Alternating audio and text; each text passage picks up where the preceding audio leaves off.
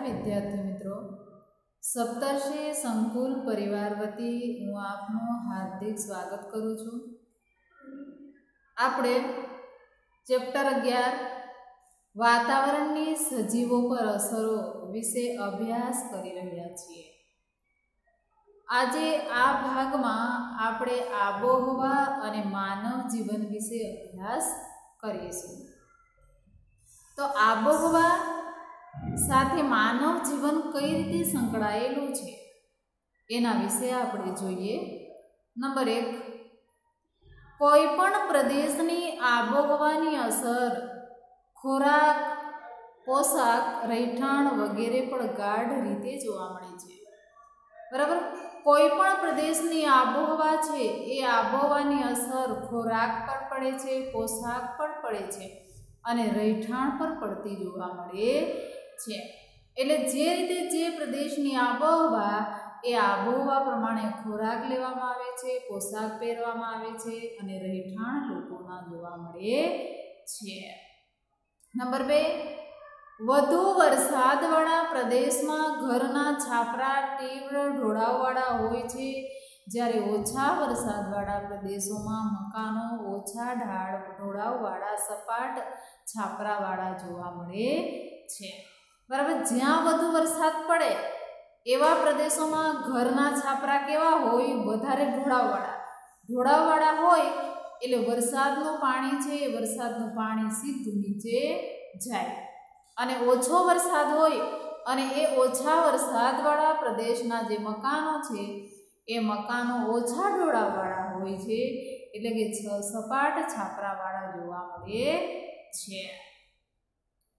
જે તે પ્રદેશમાં થતા ખેતી પાકો તે પ્રદેશના લોકોના ખોરાકમાં મોટા ભાગે લેવાતા હોય છે. દાખલા તરીકે મેદાની પ્રદેશના લોકોના ખોરાકમાં ઘઉં અને પર્વતીય પ્રદેશના લોકોના ખોરાકમાં મકાઈ લેવામાં આવે છે. જો આપણે જાણીએ છીએ કે જે પ્રદેશના લોકો જે પાકો વાવ ખેતીની અંદર થતા હોય, બરાબર, એવા જ પાકો ખોરાકમાં લેવામાં હવે મેદાની પ્રદેશના જે લોકો છે, એ લોકો ખોરાકમાં શેનો ઉપયોગ કરે છે? ઘઉંનો ઉપયોગ કરે છે. અને પર્વતીય પ્રદેશના જે લોકો છે, એ લોકો ખોરાકમાં શેનો ઉપયોગ કરે? મકાઈનો ઉપયોગ કરે. એટલે જે વિસ્તારમાં જે પાકોનું ઉત્પાદન થતું હોય, એ જ પાકો ખોરાકમાં લેવામાં આવે છે. આગળ આપણે જોઈએ. જે પ્રદેશમાં ઠંડી વધારે પડે છે ત્યાં લોકો આખું શરીર ઢંકાય તેવા ગરમ ઊની વસ્ત્રોનો ઉપયોગ કરે છે. દાખલા તરીકે લદ્દાખના લોકો. બરાબર? જે પ્રદેશમાં ઠંડી વધારે પડે, ત્યાં લોકો આખું શરીર ઢંકાઈ જાય એવા ગરમ વસ્ત્રો પહેરે છે. જ્યારે કે ઉદાહરણ તરીકે લદ્દાખ વિસ્તારની અંદર સૌથી વધારે ઠંડી પડે, એટલે ત્યાં લોકો આખું શરીર ઢંકાઈ જાય એવા ગરમ વસ્ત્રો પહેરે છે. આગળ જોઈએ આપણે. ગરમ આબોહવા ધરાવતા પ્રદેશના લોકો સુતરાવ અને ખુલ્લા વસ્ત્રો પહેરે છે. બરાબર? જે વિસ્તારમાં ગરમ આબોહવાનો વિસ્તાર છે, એ વિસ્તારના લોકો સુતરાવ કપડાં અને ખુલ્લા વસ્ત્રો પહેરે છે. દાખલા તરીકે દક્ષિણ ભારતના લોકો. કે દક્ષિણ ભારતની આબોહવા કેવી છે? ગરમ છે. અને એના કારણે અહીંયા લોકો સુતરાવ કપડાં અને ખુલ્લા કપડાં પહેરે છે. ગરમ રણ પ્રદેશના લોકો સતત ઉડતી રેતીથી બચવા માટે માથે રૂમાલ કે કપડું વીંટાળે છે. બરાબર, ગરમ રણ પ્રદેશના લોકો શું કરે છે? સતત ઉડતી રેતી રેતી સતત ઉડે છે અને રેતીથી બચવા માટે માથે રૂમાલ બાંધે છે અથવા તો કપડું વીંટાળે છે. દાખલા તરીકે અરબસ્તાનના લોકો બરાબર? અરબસ્તાન એ ગરમ રણ પ્રદેશ છે અને એના કારણે ત્યાં રેતીનું પ્રમાણ વધારે હોય, એટલે રેતીથી બચવા માટે માથે રૂમાલ બાંધે છે અને કપડું પણ વીંટાળે છે. ગરમ અને ભેજવાળી આબોહવાવાળા ક્ષેત્રોમાં માન, સ્વભાવ, આળસો જ્યારે સમશીતોષ્ણ કટિબંધના પ્રદેશોમાં આબોહવા ખુશનુમા હોવાથી લોકોની કાર્યક્ષમતા વધુ હોય. જો ગરમ અને ભેજવાળી આબોહવા વિસ્તારોના લોકોનો સ્વભાવ કેવો હોય? આળસુ હોય. જ્યારે સમશીતોષ્ણ કટિબંધના પ્રદેશોમાં આબોહવા ખુશનુમા છે. ખુશનુમા એટલે વધારે ગરમી પણ નહીં અને વધારે ઠંડી પણ નહીં. અને એના કારણે લોકોની કાર્ય કરવાની ક્ષમતામાં વધારો થાય છે. એટલે આપણે શું વિદ્યાર્થી મિત્રો કે જે પ્રદેશમાં જે આબોહવા જેવી એવું લોકોનું રહેઠાણ કે લોકોનો પહેરવેશ કે લોકોનો ખોરાક જોવા મળે છે. હવે આપણે આગળ જોઈએ. મોસમી આબોહવાના પ્રદેશોમાં વર્ષા ઋતુ સિવાયના સમયમાં વિવિધ સામાજિક પ્રસંગોની ઉજવણીનું પ્રમાણ વિશેષ જોવા મળે છે. બરાબર, જે મોસમી આબોહવાવાળા પ્રદેશો છે એવા પ્રદેશોમાં વર્ષા ઋતુ સિવાયના જે સામાજિક પ્રસંગો છે, એ સામાજિક પ્રસંગોમાં ઉજવણીનું પ્રમાણ કેવું હોય, વિશેષ એટલે સૌથી વધારે ઉજવણીનું પ્રમાણ જોવા મળે છે. એટલે સૌથી વધારે સામાજિક પ્રસંગોની ઉજવણી લોકો કરતા જોવા મળે છે. હવે આપણે જોઈએ કુદરતી વનસ્પતિ અને પ્રાણી સૃષ્ટિ. કુદરતી વનસ્પતિની વૃદ્ધિનો આધાર જમીન, તાપમાન અને ભેજ પર રહેલો છે. બરાબર? કુદરતી વનસ્પતિ છે એ વનસ્પતિની વૃદ્ધિનો આધાર. એટલે કુદરતી વનસ્પતિમાં કઈ રીતે વધારો થાય છે? જમીન, તાપમાન અને ભેજના આધારે વધારો થયેલો જોવા મળે છે. કે કુદરતી વનસ્પતિની વૃદ્ધિનો આધાર જમીન, તાપમાન અને ભેજને આધારે રહેલો છે. આ ઉપરાંત ઢોળાવ અને માટીની ઊંડાઈ, માટીના થરની જાડાઈ પર પણ કુદરતી વનસ્પતિને વૃદ્ધિ કરે છે.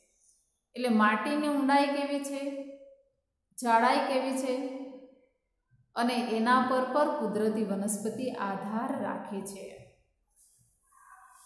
આ ઘટકોમાં રહેલ વિભિન્નતાને કારણે જે તે પ્રદેશની કુદરતી વનસ્પતિ ગીચ અને પ્રકારમાં ફેરફાર જોવા મળે છે.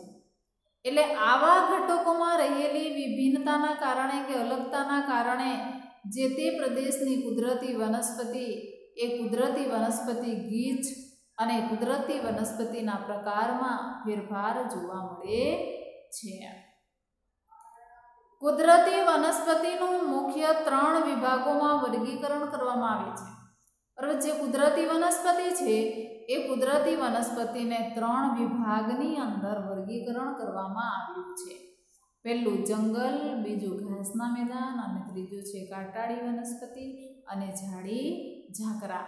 એમ ત્રણ વિભાગોની અંદર કુદરતી વનસ્પતિનું વિભાજન કરવામાં આવ્યું છે. એમાં જંગલમાં જો વનસ્પતિ એ અનુકૂળ તાપમાન અને વરસાદવાળા પ્રદેશમાં ઉગે છે. બરાબર? આ વનસ્પતિ કઈ રીતે ઊંઘે અનુકૂળ તાપમાન, સારું તાપમાન હોય અને વરસાદવાળો જે પ્રદેશ હોય, એ પ્રદેશમાં વનસ્પતિ ઊંઘતી જોવા મળે છે. તાપમાન અને વરસાદના આધારે ગીચ કે છૂટા છવાયા જંગલ જોવા મળે છે. બરાબર? કોઈ પણ પ્રદેશનું તાપમાન અથવા તો વરસાદ એના આધારે ગીચ જંગલ કે છૂટા છવાયા જંગલ જોવા મળે છે. જેમ વરસાદનું પ્રમાણ વધારે હોય, તેમ જંગલનું પ્રમાણ પણ ગીચ જોવા મળે છે. ત્યાર પછી આવે છે ઘાસના મેદાનો. આ મધ્યમ વરસાદવાળા ક્ષેત્રમાં આવેલા છે. એટલે ઘાસના મેદાનો જ્યાં મધ્યમ વરસાદ પડે છે, એવા ક્ષેત્રોમાં આ ઘાસના મેદાનો જોવા મળે છે. ત્યાર પછી છે કાંટાળી વનસ્પતિ અને ઝાડી ઝાકરા, કે શુષ્ક અને ઓછા વરસાદવાળા પ્રદેશમાં વનસ્પતિ જોવા મળે છે.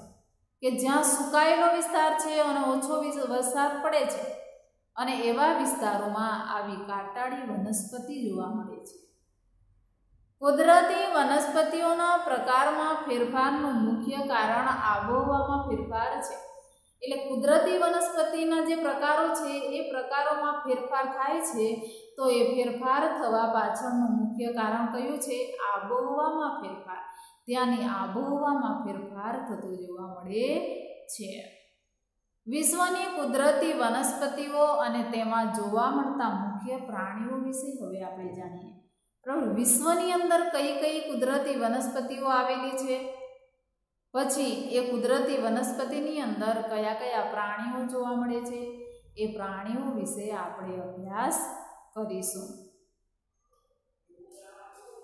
કે જો વિદ્યાર્થી મિત્રો તમને પ્રશ્ન પૂછાય કે આબોહવા અને માનવ જીવન, કે માનવ જીવનની આબોહવા પર અસરો અથવા આબોહવાની માનવ જીવન પર થતી અસરો વર્ણવો, તો આપણે આ જોઈ ગયા તમારે લખવું પડે.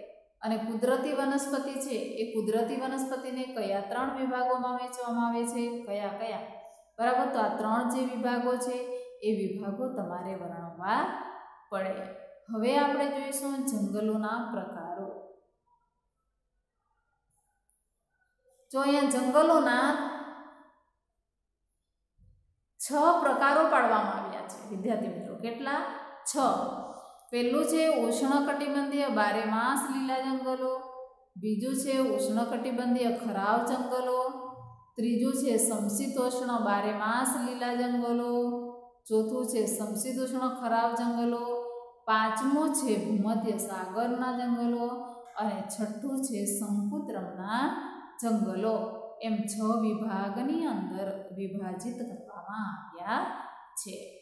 હવે આપણે જોઈશું જંગલોના પ્રકારોમાં પહેલો પ્રકાર ઉષ્ણકટિબંધીય કટિબંધીય બારેમાં સલીલા જંગલો. આ જંગલોને ઉષ્ણકટિબંધીય વરસાદી જંગલો પણ કહે છે. બરાબર, આ જે જંગલો છે ઉષ્ણકટિબંધીય બારેમાં જંગલો. એ જંગલોને ઉષ્ણકટિબંધીય વરસાદી જંગલો તરીકે પણ ઓળખવામાં આવે છે. આ ઘટાદાર જંગલો વિષવવૃત અને ઉષ્ણકટિબંધમાં જોવા મળે છે. બરાબર, આ જંગલો ક્યાં જોવા મળે છે? વિષવવૃત અને ઉષ્ણકટિબંધમાં જોવા મળે છે. આ પ્રદેશની આબોહવા ગરમ અને આખું વર્ષ ભારે વરસાદના કારણે ભેજવાળી છે. બરાબર, આ જે પ્રદેશ છે, આ પ્રદેશની આબોહવા કેવી છે? ગરમ છે અને આખું વર્ષ ભારે વરસાદ પડે છે અને એના કારણે આ પ્રદેશની આબોહવા આખું વરસ તમને ભેજવાળી જોવા મળે છે. આ પ્રદેશની વનસ્પતિના પાંદડા એક સાથે ન ખરતા હોય તે બારે માસ લીલા રહેતા હોય છે, તેને બારે માસ લીલા જંગલો કહે છે. બરાબર, આ પ્રદેશની વનસ્પતિના પાંદડા છે, એ પાંદડા એક સાથે ખરી જતા નથી. અને એના કારણે બારે માસ લીલા રહે છે. હવે જો ઘણા બધા વૃક્ષો હોય, તો એક વૃક્ષનો ખરવાનો સમય અમુક સમયગાળા પૂરતો હોય, ત્યાં સુધી બીજા વૃક્ષના પાંદડા હોય. અને એ બીજું વૃક્ષ ખરે, તો ત્રીજા વૃક્ષના પાંદડા હોય. એમ બારે માસ લીલા રહે છે, કારણ કે એક સાથે બધા જ વૃક્ષોના પાન ખરી જતા નથી. આ જંગલોમાં રોજવોડ અબનોસ, મોહગની વગેરે વૃક્ષો જોવા મળે છે. ભારતમાં અંદમાન અને નિકોબાર દ્વીપ સમૂહમાં આ ઉષ્ણકટિબંધીય લીલા જંગલો આવેલા છે. બરાબર, ભારત દેશની અંદર જે અંદમાન અને નિકોબારનો દ્વીપ સમૂહ છે, એ દ્વીપ સમૂહમાં આવા જંગલો આપણને જોવા મળે છે કે આવા જંગલો આવેલા છે. તો વિદ્યાર્થી મિત્રો, આપણે અહીંયા જોયું કે આબોહવાની માનવ જીવન પર અસર, કુદરતી વનસ્પતિ અને પ્રાણી સૃષ્ટિ, જંગલોના પ્રકારો, એમાં આપણે પહેલો પ્રકાર જોયો. હવે બીજો પ્રકાર છે ઉષ્ણકટિબંધીય ખરાબ જંગલો અને એ બીજા પ્રકાર વિશે આપણે હવે પછીના ભાગમાં ચર્ચા કરીશું. તો વિદ્યાર્થી મિત્રો, દરેક વિડીયોના અંતે જે રીતે તમને પ્રશ્નો આપવામાં આવે છે, એ જ રીતે આ વિડીયોના અંતે પણ પ્રશ્નો આપવામાં આવ્યા છે અને એના જવાબો તમારે આજની તારીખ, આજનો ભાગ નંબર સહિત લખીને પાકી નોટમાં પૂર્ણ કરવાના છે.